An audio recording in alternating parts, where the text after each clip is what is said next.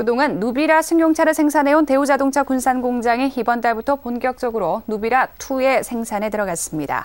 대우자동차 군산공장은 이달 초부터 기존 누비라의 외관을 변경하고 성능과 연비를 크게 향상시킨 후속 모델 누비라2 생산에 들어갔으며 다음 달부터 신차 발표와 함께 본격적인 내수 판매에 나선다고 밝혔습니다.